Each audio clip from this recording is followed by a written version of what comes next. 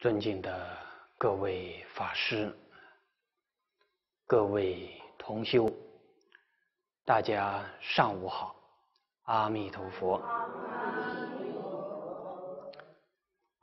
请掀开经本第八页，经文第二行。以定慧力降伏魔月啊！看这一段经文，上一堂课有略略的学习过。先说魔。到底是怎么一回事？讲了跟我们生活关系很密切的五阴魔、烦恼魔，而后是天魔、死魔。说到生死是魔，很多人不否认，死亡确实很可怕。那如何去降服死魔呢？菩萨用的方法是定慧之力。什么是定慧呢？我们常说戒定慧三无漏学，把戒省略，因为菩萨已经具足定慧，而我们刚刚学习的时候呢？其实会还谈不上，定呢也有点勉强，那戒呢？哎，戒好像懂一点，学了佛，懂了一点戒，干什么呢？戒就是管人的事情。我们现在学到的戒，就是用来管人，这样越管呢，心越不定。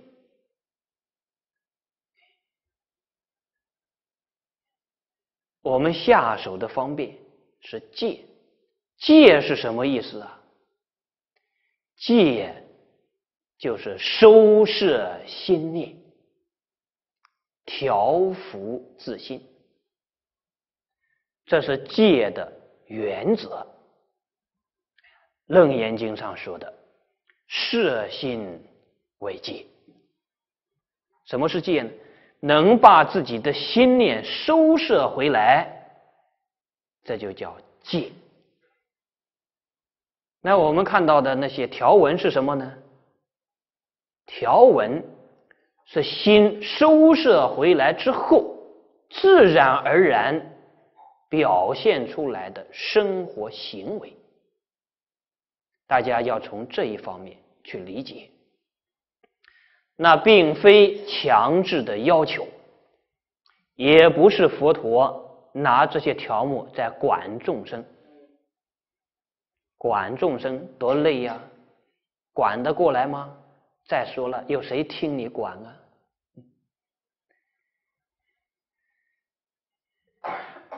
我们现在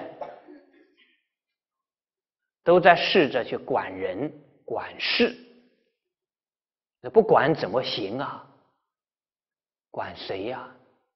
那我管他，他听你管吗？不听，我很生气。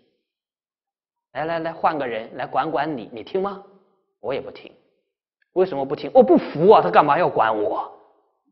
那就对了吧？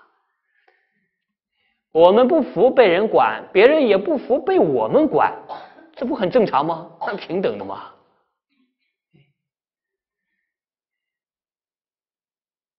不要说是一个普通人要管我们了，佛菩萨如果真的要管我们，我们照样不服。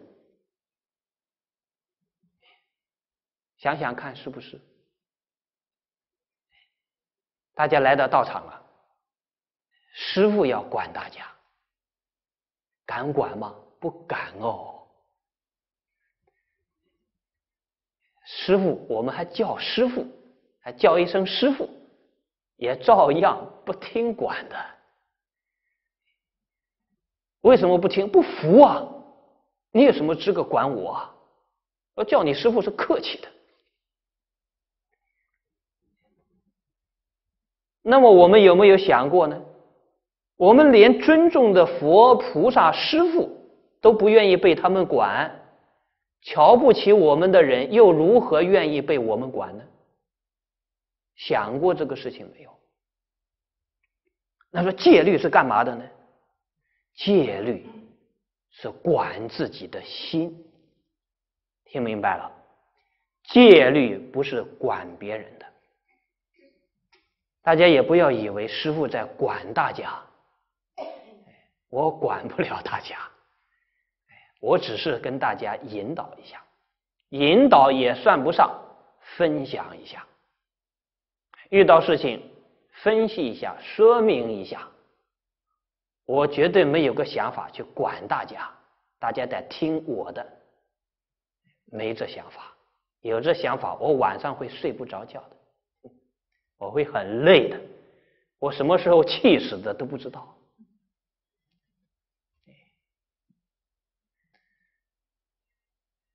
这道场是要管的吗？很多人说，师傅，你这道场哪里哪里得管管。哪里是管的呢？有谁听管啊？你来说，我让你这样，你听管吗？不听的了。那我们学习佛法，学的是什么呢？学的是管自己的心。也有人说要用一些制度去把这些人事都管好，制度是死的，人心是活的。制度有没完没了的漏洞。人心却有无量无边的聪明技巧，想办法去钻那个漏洞。你有这个规定，他偏偏走那一边。学佛不是玩这些游戏，所以佛所说的戒是教我们收心的，而不是让我们去要求别人，去管理别人。这一方面，大家要认识到，定慧谈不上。我们从戒学会收心，心能够收回来一点点，魔怨也会减少。虽不能完全降服，能减少。等到心完全收回来了，心完全收回来是什么样子？有人说我心收回来了，我心很定的。没人烦你，当然很定了。什么叫心收回来呢？心平了，遇境逢缘，心是平常的，是平衡的，是平静的。哪怕有种种顺逆境缘干扰，他的心。是若无其事的。好了，因戒得定，这就是六祖能大师说的“心平何劳持戒”。什么缘故呢？戒在其中了。这跟《楞严经》上讲的完全相同。什么是戒呢？摄心为戒。把自己的心守护好，因戒得定，这样心才能定啊。戒如果越学越烦恼，那就方向弄颠倒了。对戒律感兴趣的朋友，时常有这样的困惑：我这样做，他们都不这样做，气都气死了。这些人都不如法，这些人都是魔子魔孙，这些人都要下地狱。脑袋里面、思想里面全是这些东西，我很难相信他会上得了天堂，别说成佛了。真正学界，慢慢的心平静了，因定开会，会是什么呢？彻底觉悟，定慧力就是定会起作用啊，能降伏魔怨。对于生死这一桩事情也看淡了。所以，死亡的恐惧不再有了。对念佛人来说，这一句佛号，老实念叫戒。什么叫老实念呢？安心念，用心念，不仅仅是用嘴巴念啊，用心念。念之久久，心平。什么叫心平啊？你再看到所有人念佛不念佛，念好念坏，心里面平静，不再起烦恼，这叫念到与佛相应了。念佛堂的同修，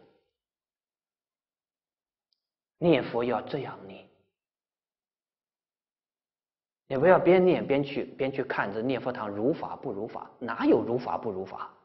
只有我们的心烦与不烦，心生烦恼。把你放到如法道场，照样不如法；心地清净，你放到五浊恶世，照样是火中红莲。念佛堂的同修进去就安心念佛，那有不如法的呢？今后不要说如法不如法。我们还不够这个资格说别人如法不如法。不要以为我听了几天经，我明白了一些道理，就好像得到尚方宝剑了。释迦如来告诉我了，你不如法，谁告诉你的？少扣帽子，先把什么如法不如法放在一边，你先问问自己的心有没有烦恼，心起烦恼。你就是抱着《无量寿经》如法吗？经上这样教吗？那，有一些看起来不妥呢。首先，用善巧方便给予引导，能引导则引导，不能引导呢，则暂时给他隔离一下。隔离的用意呢？是保护他，一方面不要影响别人，另一方面呢，别让他自己继续烦恼下去。这是一种慈悲方便，大家可不要以为这是起了烦恼啊，把他给赶走了、拒绝了。我们这样想，显然是误会三宝。三宝哪里会拒绝人啊？不会。你说签单呢？签单也并非拒绝，给他冷静冷静而已。我们得首先认识到，真正的魔并非在外面，那是我们烦恼的心念。死亡对每个人来讲都是必然，既然是必然，那就不用烦恼，不用恐惧。坦然面对就好了。很多念佛人来说，干嘛呢？我求往生，求往生。今天有个同学来跟我说，他要在这里求往生，啊，提出要求，给我一个房间，我要求往生。来了，我会告诉他，这个房间是求往生的，这里曾经死过人。哎，如果他害怕呢？害怕那就自己还不想往生，说说而已。那里求往生的人还对死亡有恐惧的概念，这在考验念佛同修啊！你说我要求往生，好，那里死过人，你先去那边住几天。往生什么概念啊？对死亡看得很平淡，为什么？了解了，这叫了生死。诸位念佛同修，真要求往生，这一关是要面对的。谁都回避不了。看到死人都跑得比孙猴子还快，你往生到哪里去啊？但是我怕他那个面孔，自己将来这个面孔会更好看吗？所以，真正念佛人首先要了达生死是怎么回事，以畏惧心。那心不安啊！不要怕，死亡是最成正常不过的事情了。咱们今天商量商量怎么死，这就叫了生死。不要误会啊，不是说商量好就一起去死啊。商量商量怎么死啊，就是得考虑我将来怎么走，走的潇洒，走的自在。你看那些念佛往生自在的人，难道不值得我们学习吗？要走前几天跟大家说，我回净土了，信不信由你们？过几天来送送我。到的时候跟大家挥手拜拜再见，多么潇洒！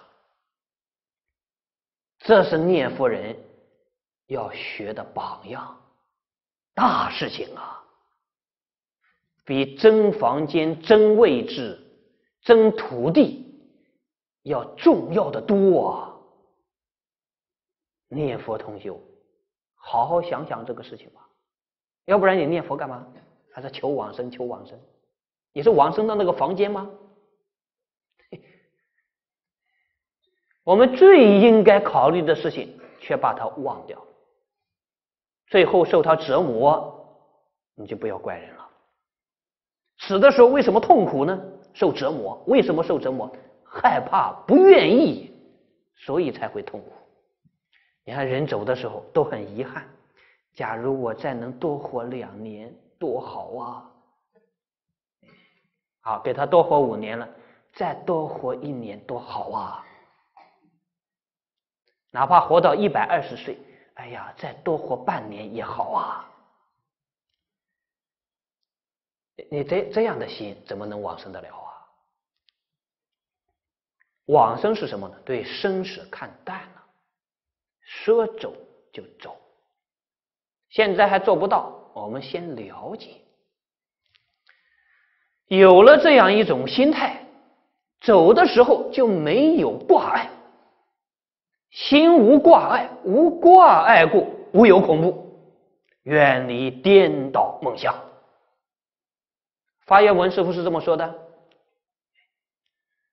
临命终时，欲知实质，身无病苦，心不贪恋，意不颠倒，如入禅定。然后这个魔就没有了，死魔。对一般修行人来讲，他还有另外一重障碍。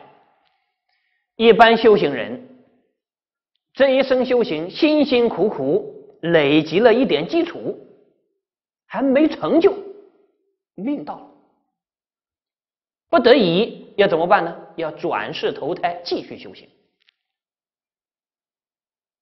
转世投胎，谁还能继续修行啊？只有极少数、极少数大根性的修行人，还能够不昧前生因果，继续修行。更多的修行人这一转世，就开始享福造业了。大家看到这些大福报的人，那福报是偶然的吗？过去生中佛门修的，这一转世有隔音之谜。纵然遇的缘很好，前面一二十年耽误掉了，再接着修行，已经是人到中年了，还没修好又要死了，就是这样生生死死在轮回中，至今没一个消息。所以，对修行人来讲，死魔是这样理解的。它不仅仅是死亡之后的痛苦了，是在轮回中造成的这一种间断，影响修行人直接成就。那么念佛人呢，这个障碍可以化解，直接往生了。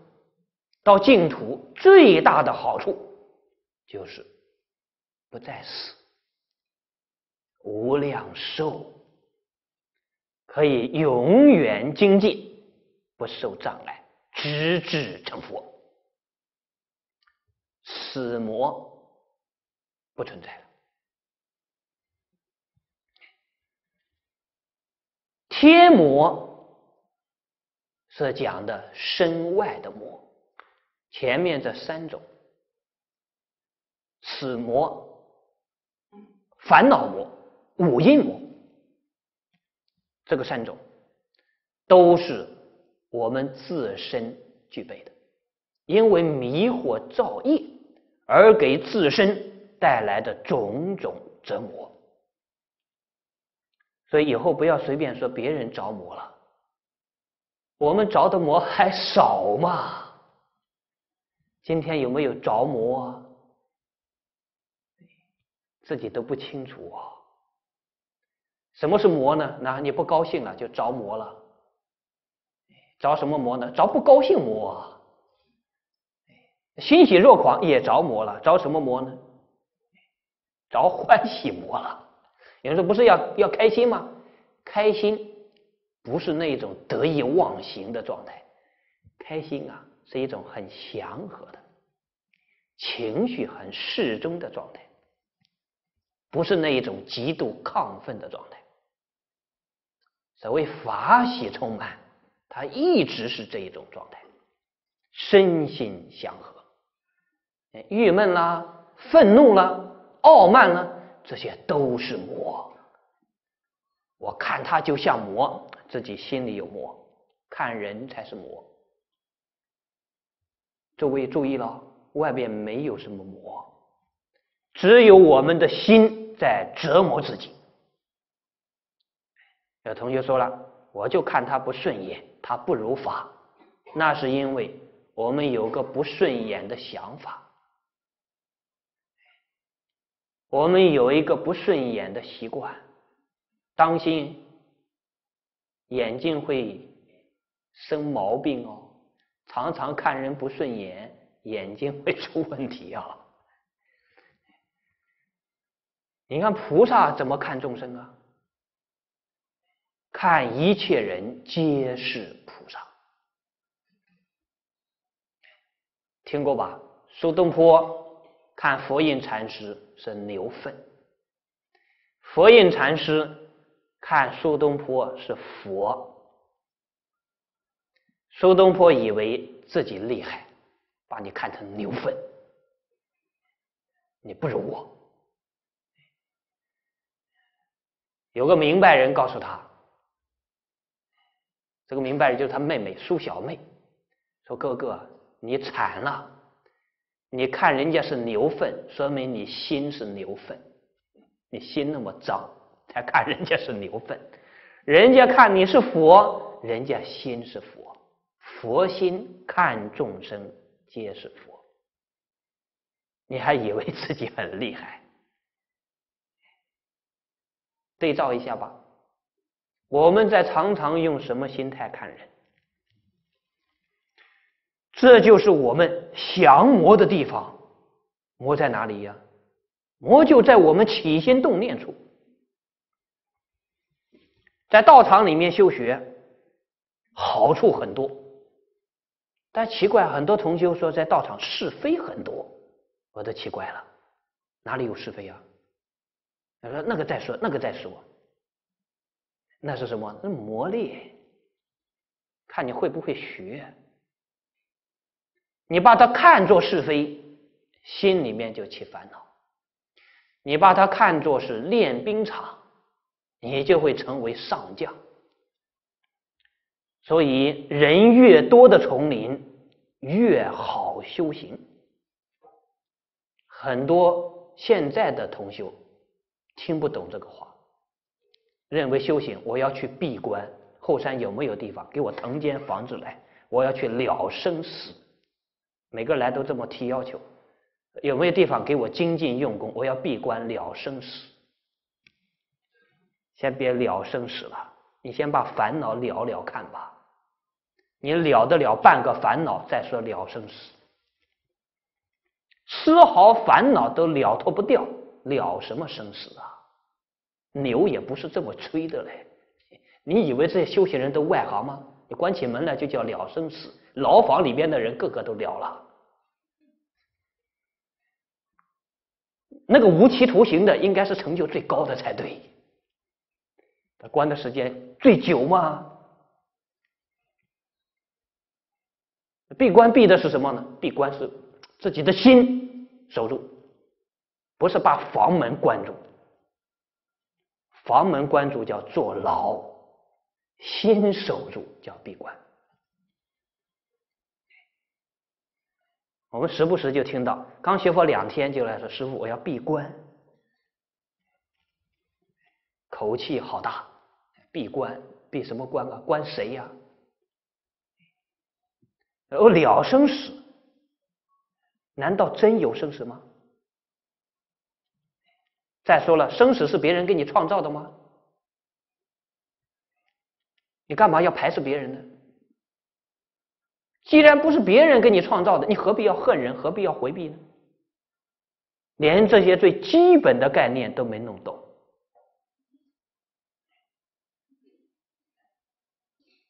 古人闭关。并非初学可以的，那是什么呢？久参饱学之事，闭关养道。你呢？闭了关就宣布你是很有成就的，很有精力的，有人就会扣你的关。干嘛呢？你你有成就的，要向你请教啊。一问你还不如他，出来门给你打破，你没资格闭关。你还不如我，你闭什么关啊？现在呢，充其量叫自修还说得过去，关起门来自修还勉强说得过去。其实也不知道是修板凳还是修桌子。关房里面没其他人了，你只能修这些吗？你真的会修心？真会修心的人还能把房门关起来？修心跟关不关门有关系吗？修心就是修心，跟关不关门没关系。这才是我们要学习的重点。我们要降服的就是这颗心，降服其心。你说说天魔不是外面的吗？说说天魔，就是跟悉达多太子作对的这个天魔波旬，明星级的人物。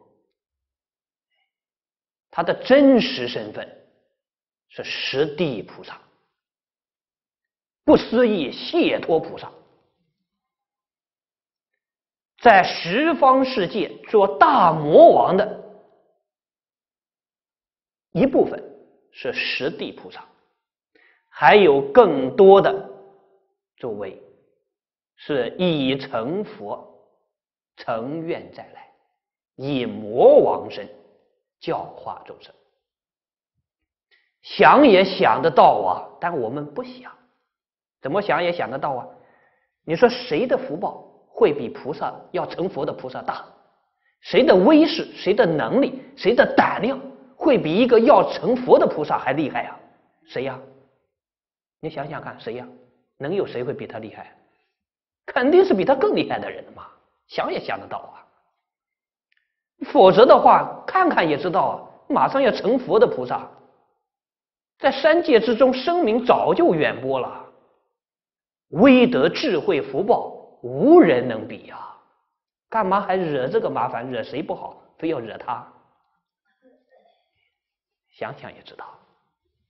所以经上为我们说出真相：这些魔王在十方世界视现的魔王，都是不思议大菩萨，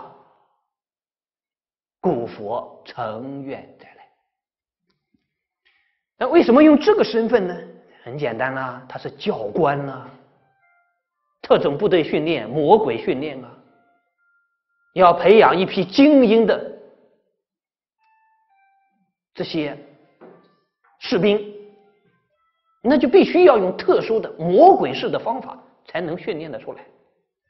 那教官本身还不如士兵，他能训练谁呢？哎明白这个道理，就知道了。那天魔实际上。是修行人的老师，大善之师。这是大乘经上给我们讲出的真相。魔王波旬，他做代表。前面说过了，太子要实现成佛，一定得有轰轰烈烈的一件事情。用现代话讲，这叫造势宣传。成佛要度众生嘛，必须得让众生知道这个事情。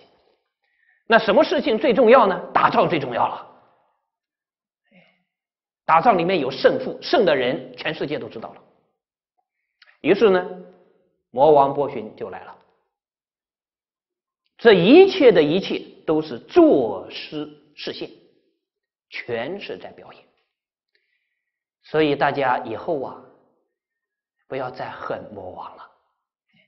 也不要提到波旬就咬牙切齿，也不要看到什么如法的不如法的，哎，特别那些看不顺眼的，说魔子魔孙，诸位，魔子魔孙跟佛子佛孙有差别吗？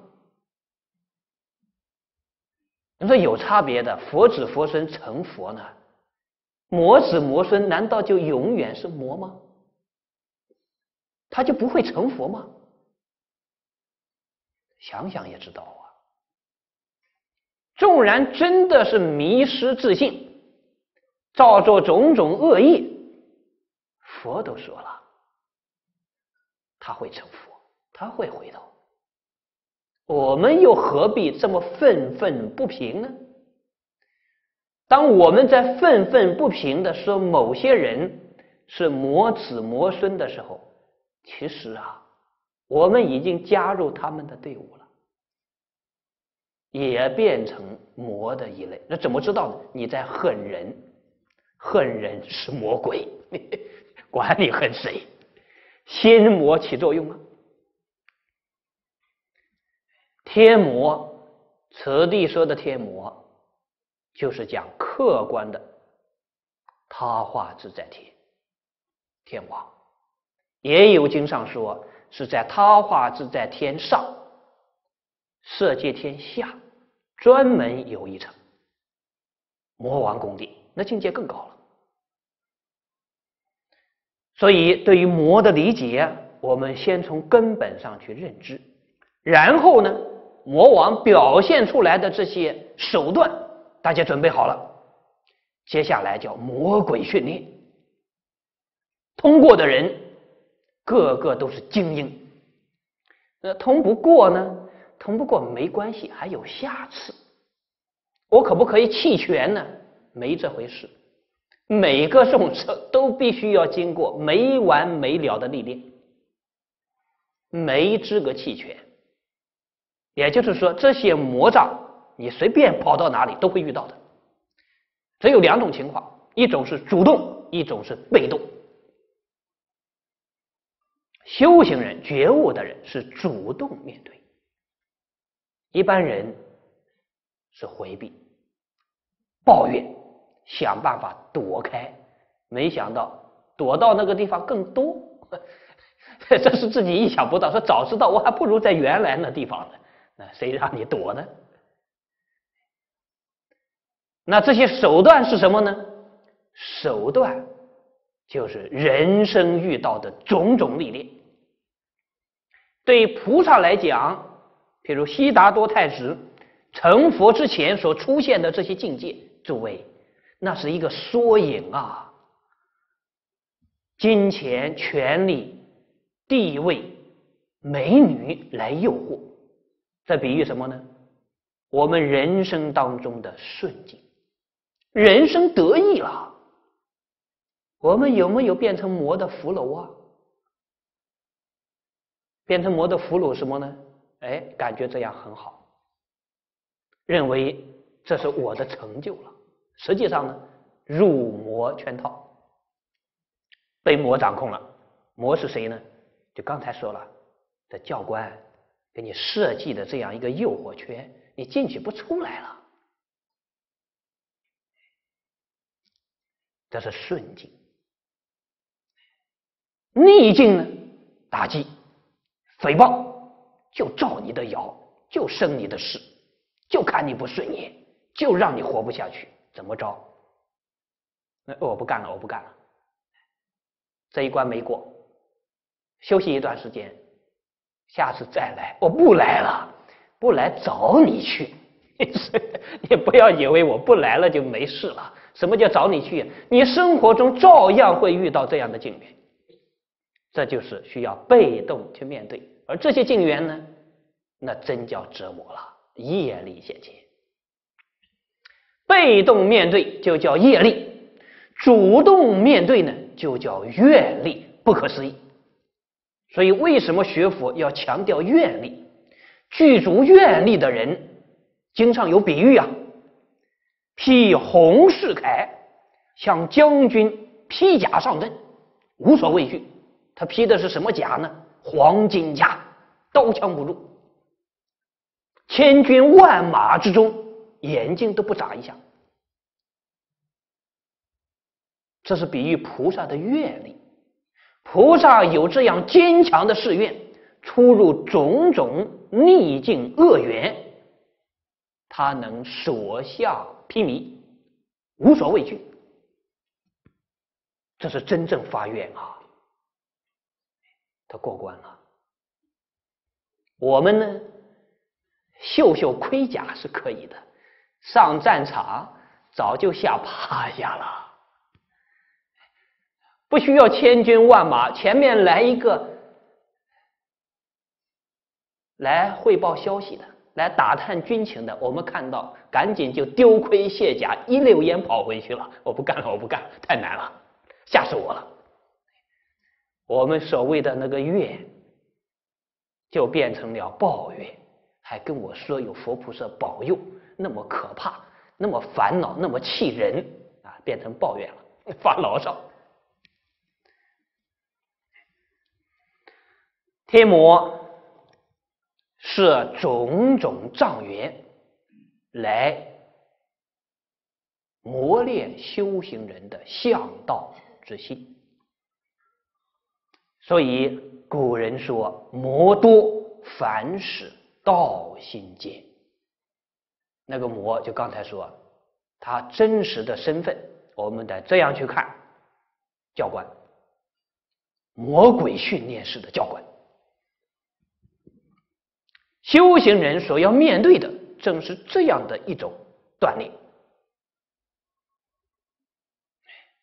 他的手段确实很残忍。超出我们想象，但是我们的烦恼习气呀，不是这样去淘汰，根本就去不掉。哪里有那么轻松？你听两句经啊，我懂了，烦恼照样一个不会跑掉。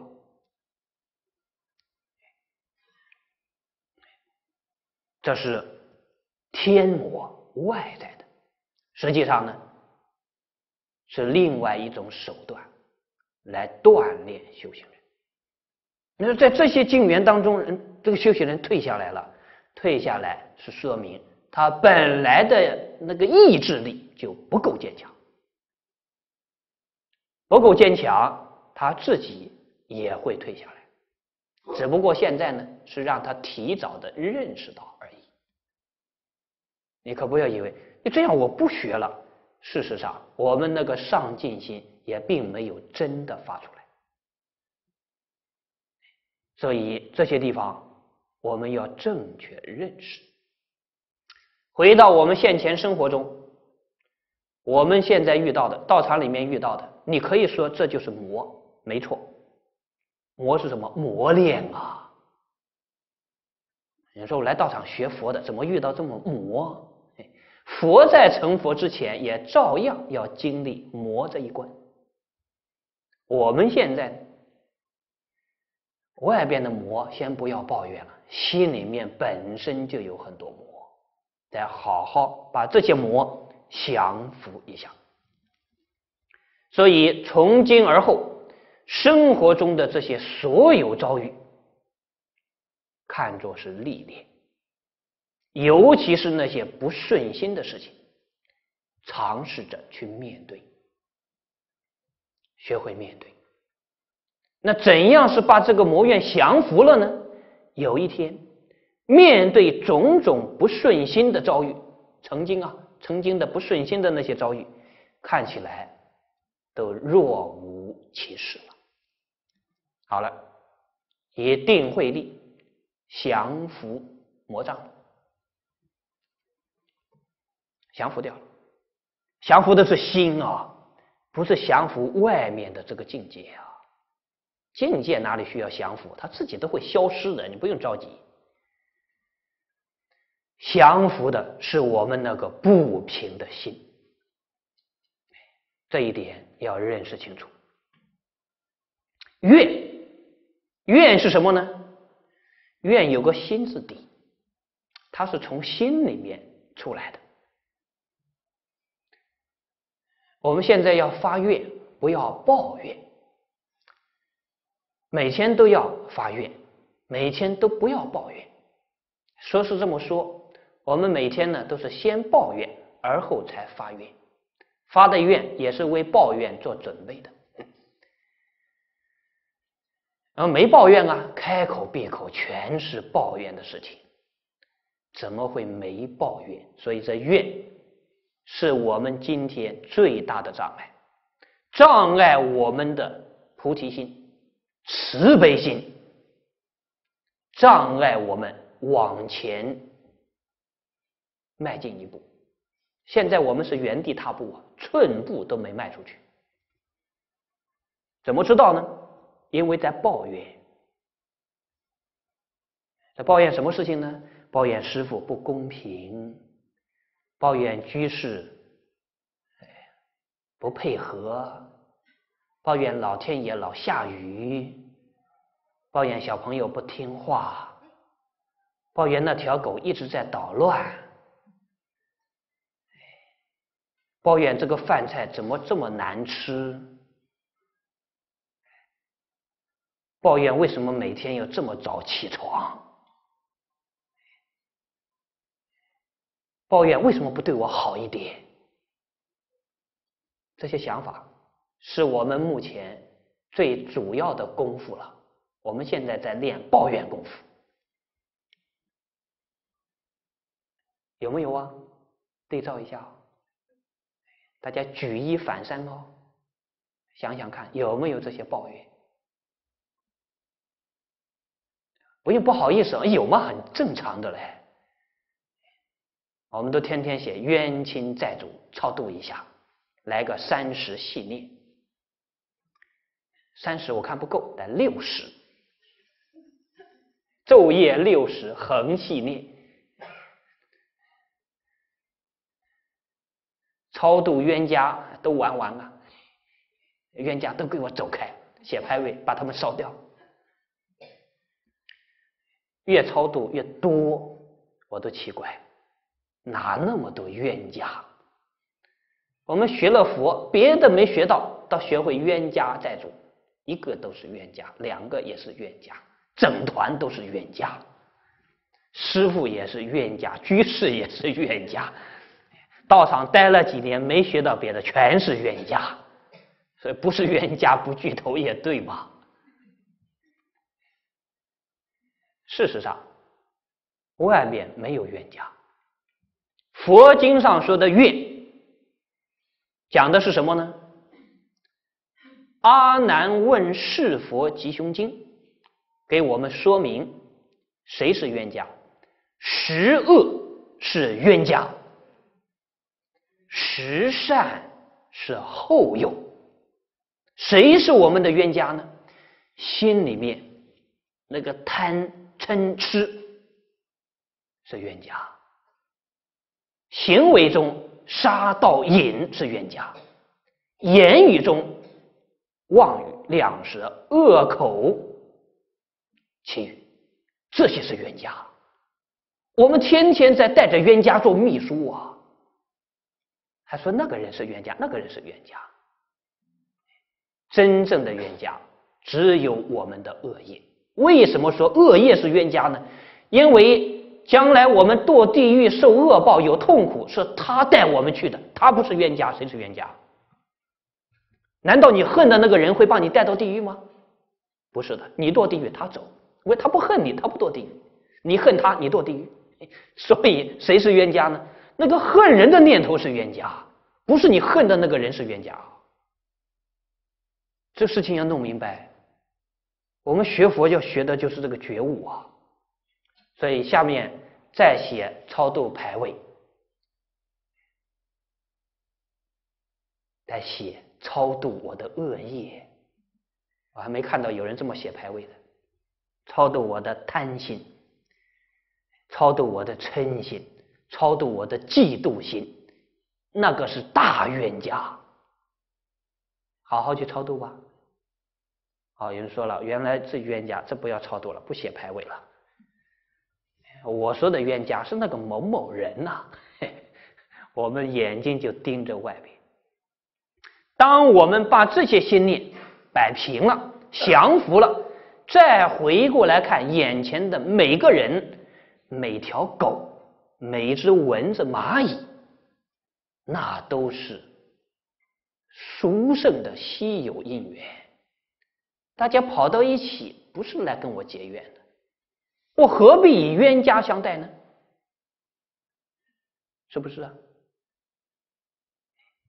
还是弥勒菩萨那句话：“眼前皆是有缘人，相见相亲，怎不满腔欢喜呀？”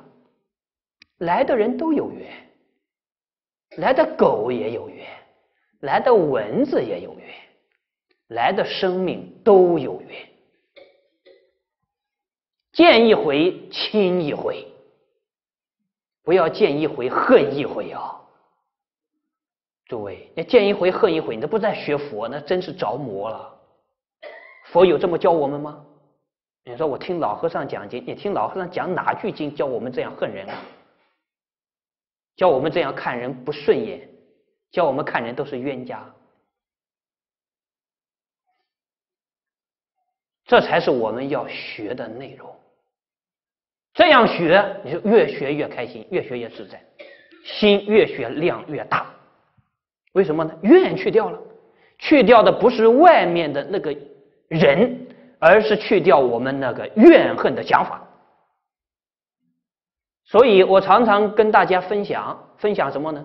有很多人做功课，做什么功课？读经、念佛、持咒，这些小功课了。你天天做个大功课，什么功课呢？每天念，我今天不抱怨，不恨人，不生气，念上三年的大功课。你不信试试看。你念什么经，念什么咒，能把这些怨恨心念掉了，那才叫有功德。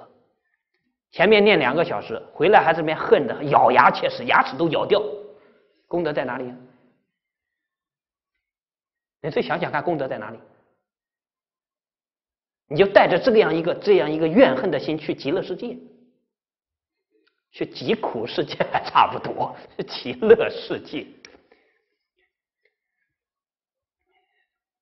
这是我们当下的状态，认识清楚。从哪里修啊？这里还不需要修吗？最需要修的就是自己那个不平的心啊！学佛就是修心。不是拿着经本做功课而已，也不是参加没完没了的法会。这些呢，都是用来提醒我们的，真正的佛法就在心灵的觉悟。心悟一切法皆是佛法，心迷一切法皆是烦恼法。所以我们要学的佛法是随学随用的，今天学了马上就用。怎么用啊？诸位之前恨过什么人？现在心里面向他道歉哦，对不起啊，我以前恨你了，好在你还不知道，我先给你道歉。心里道歉不会吃亏嘛？如果之前两个人结了怨，这个人还健在，你得赶紧找到他。对不起，我之前恨你，我不应该。你恨我，我能理解。不要再恨人。诸位，那个念佛往生的人。大家不知道人家是什么心。以前我在新加坡有一个老居士往生，家人讲他往生前怎么做的，预知时至，知道哪一天要往生。往生前几天啊，他自己不能动了，就托家人把之前啊结过怨的那些老朋友都请的来，来给他们下跪，跟他们道歉。说我这辈子最惭愧的事情，就是曾经对不起你们，曾经恨过你们。我现在要到极乐世界去了，我不希望你们过得痛苦，希望你们原谅我，这样你们会过得快乐一点。为什么？如果对方还恨，对方会苦，他不苦了。这些老朋友们也都很感动，也不知道他怎么会这样了。这是念佛念明白了，心里面再没有怨恨，所以他走得很自在。念佛同修，从这里念念哦，念念有佛，不是念念抱怨，这是真念佛。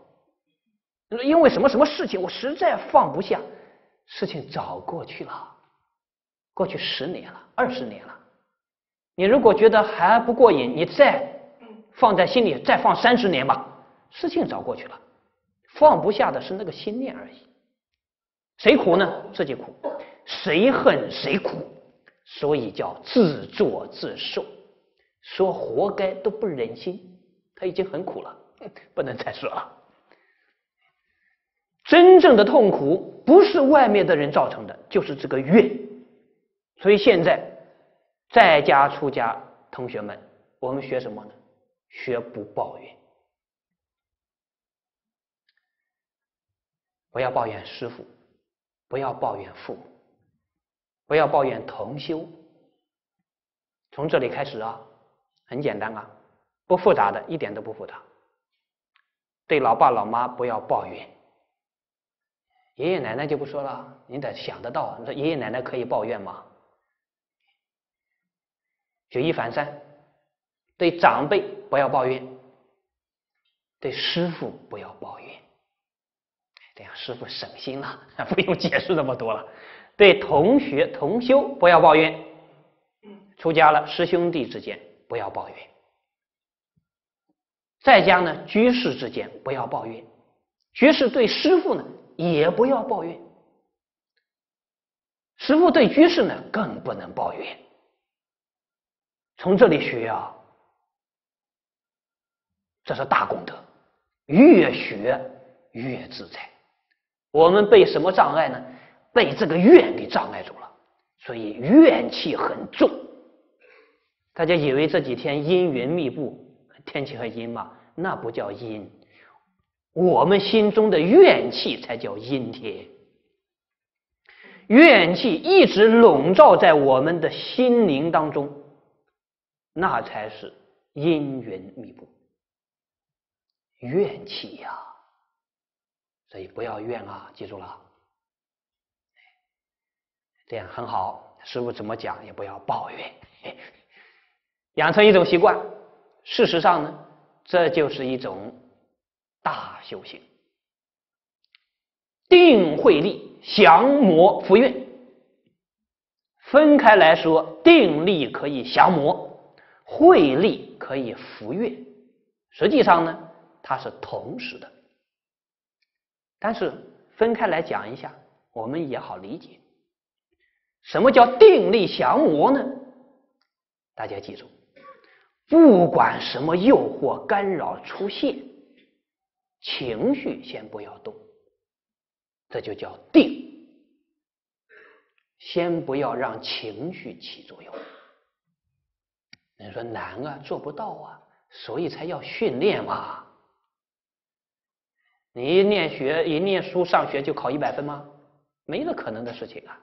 你得有个一个学习的过程，所以要训练，不让自己情绪马上起作用，得训练，训练这个心。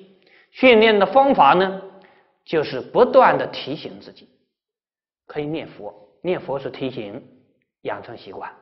你也可以就像刚才说的念，我不抱怨，我不发脾气，每天念上一千遍，提醒自己。时间久了，这心就平了，心平气和，这要训练呐。